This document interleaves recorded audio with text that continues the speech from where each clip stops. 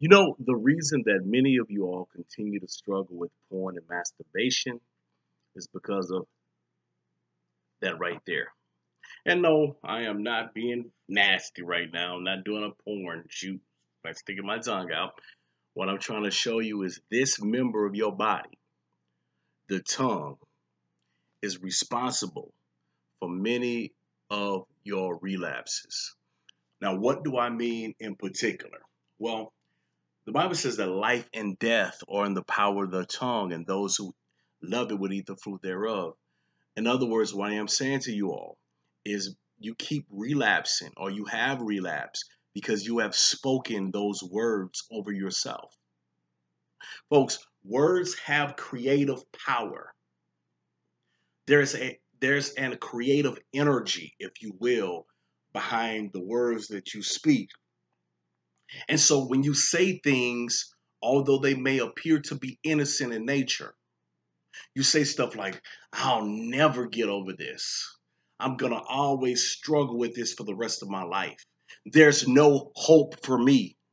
How many of you all, if you, if you just be honest for a second, just be honest for about two seconds and ask yourself, have I ever said any things, anything like this or anything of that nature like that to myself?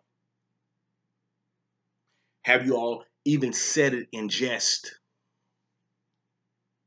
Okay, gave you two seconds to think about that. Now, if you have, that may be the root of your problem. That may be the root of your issue because spiritually, spiritually, you have violated a principle. And that principle is called going against the law of the spirit of your tongue. Life or death, as I said in the beginning, are in the power of this right here. You can either create greatness with that, or you can create destruction, put your life on the course of destruction with that right there. And no, I'm not telling you to be a wishful thinker, but what I am telling you is that you have to really watch what you say, especially in the process of you overcoming porn and masturbation. Even in the times, folks, that you relapse, you don't speak words of defeat, you speak words of victory. You say, for example, let's say you messed up. Give you a practical example. Let's say this morning you saw something that you weren't supposed to see. In the past, and I'm saying in the past right now because you're watching this and we're future minded, right? We want I see you as a victorious overcomer. So in the past, you would look at porn or you would masturbate and you would say to yourself, I'm so filthy, nasty, I would never be able to change. This is always going to be. But now, what I'm telling you is you say, you know what, God, forgive me for doing what I did. It was wrong. It was filthy. It was detestable. But thank God that I'm an overcomer because of what Christ did at the cross. See, what I've effectively done is I've admitted my wrongdoing, right? I've repented of it, but I also placed it on the place that yoke, that burden. I spoke into the atmosphere. God, I am putting that yoke on you. See, so, so many would say, well, Dominic, I don't understand why should I do that.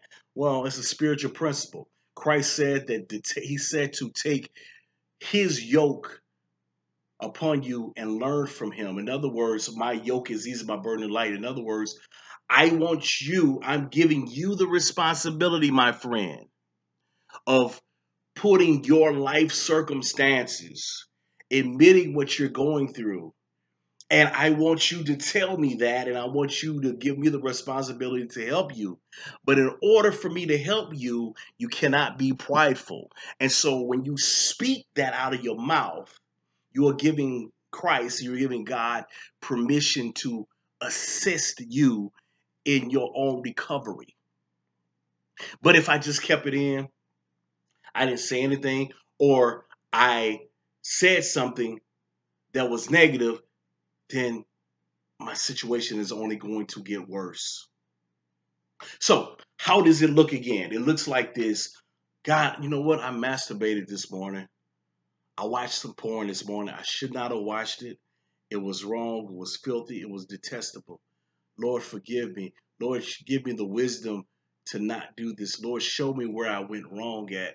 Show me the conversation that I may have gotten into that that opened up the door for me to relapse. Show me what I can do to overcome this addiction for those who, you know, whatever, just start. Show me what I need to do. Lord, your word says for me to take your yoke upon you to learn from you, Lord. So I'm doing exactly what you told me to do. I'm admitted. I've admitted that I'm wrong. I've admitted what I did was disgusting. I've admitted that my behavior was wrong, Lord. And I ask you to have mercy upon me. Have mercy because of what you did at the cross and I and I and I accept your mercy. I accept your forgiveness. I accept it, Lord God. And I ask you to give me grace. Lord, you said that you give grace to the to, to, to that you resist the proud. And Lord, I'm not being proud, but you also said you give grace to the humble. That's why I'm humbling myself upon you. And I want to learn from you, and I'm asking you for your help. And I thank you, Lord, that I'm an overcomer because of what you said at the cross. In Jesus' name, amen. Now, what did I do in that prayer? I put it on Christ. And I said, I said and I spoke out of my mouth the way that he sees me. It ain't got it don't have a, a, a, a nothing to do with how you see your you have to start to see yourself the same way that he sees you. And you have to speak to yourself the same way that Christ sees you. He sees you as an overcomer, a victorious overcomer because of what he did at the cross. Now, just use balance. I hear some of you say, well, what about the people that keep doing it? We're not talking about people that are willfully doing it. Sometimes people willfully do stuff because they're bound by will, by satanic forces, and they have to be delivered, right? That's a whole other conversation. But what I am talking about are the people that have repentant hearts, who who want to do right, who want to change, who have repented before God. I'm telling you, this is how you handle it. You start to see yourself the same way that Christ sees you at the cross. And I'm telling my friends, he sees you as more than a conqueror. He sees you as a king. He sees you as a priest. That's how he sees you. Now, you have to not only see yourself like that, but you have to speak how he sees you. And that's important because your words have creative power. And the more that you say it, the more that you believe it, and the more that you end up creating that energy in your life and you become the thing that you say that you have spoken all these years. The many the many of you keep falling in porn addiction, masturbation, XYZ, you name it, is because you keep speaking your failure and you're not speaking the success of Christ. Yes, you messed up. Yes, you've been frail. But guess who has not messed up, baby? Christ hasn't messed up. And so you have to attach your success to the vine. And Christ is the vine and you are the branch. Because he's successful, because he's more than a conqueror, guess what, my friend? You are more than more than a conqueror. Because he's a king, you are a king.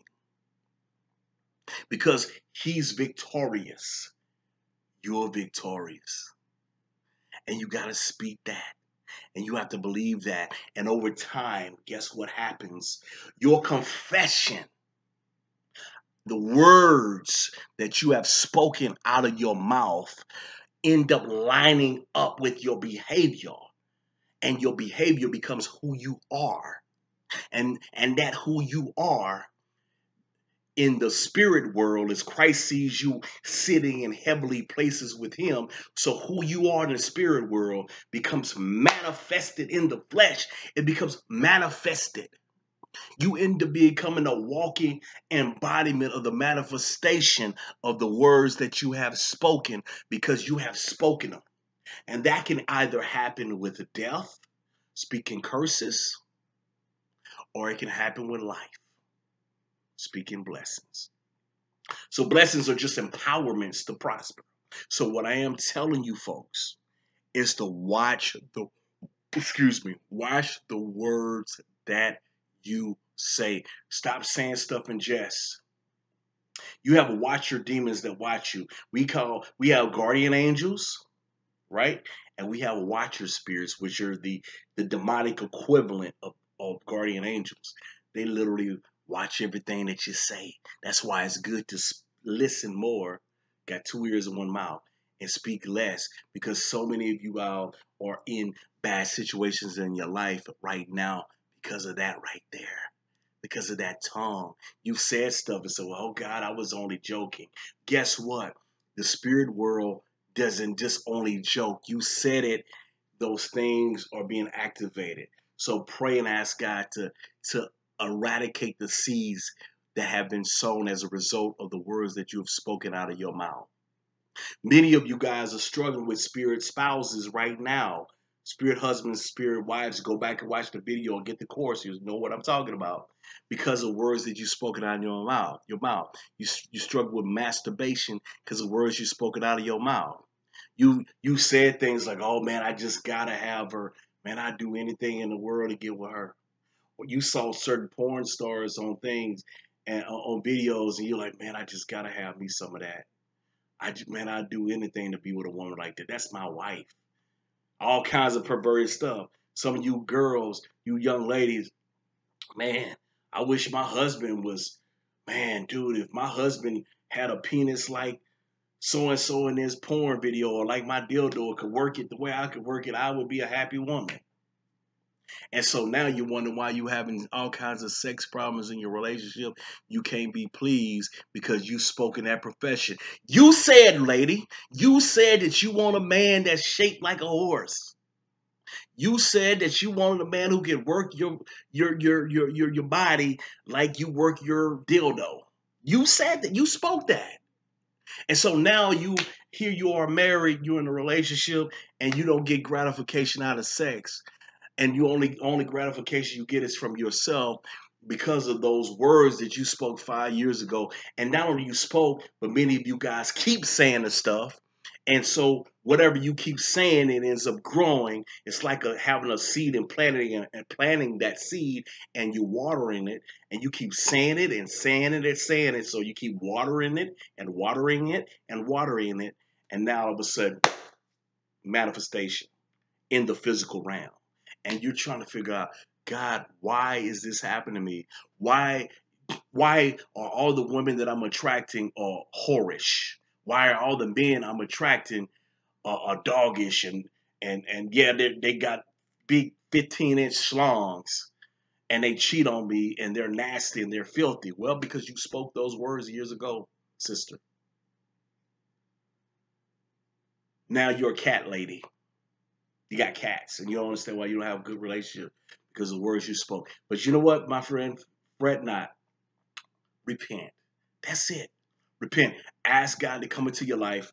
Ask God to forgive you for the words that you've spoken, every single negative, words you've spoken, every single negative covenant that you created. Remind Christ that He died on the cross for you to give you, to make you a new creation, that the old things have passed away, all things have become new. And part of that is newness of life, getting rid of old soul ties, old attachments. You deserve that. You are you're rightful heir to that. Many of you all are struggling because demons have squatted in your home. They're not just going to get out, even though they don't have the legal right to. They're going to stay there because you don't know that they have a right to get out. So it's like, okay, you know, he ain't kicked me out, even though I'm not, I'm really not supposed to be here. I'm going to stay here because he hasn't kicked me out yet, and he don't, and he doesn't know who he is. He doesn't know the legal rights. So I'm just sit there until somebody kick me out. I'm just chill and order cable, put lights on, do the stuff that squatters do in people's homes, right? That's many of your issues. So anyway, folks, I love you guys. I hope that cleared a lot of stuff up for you.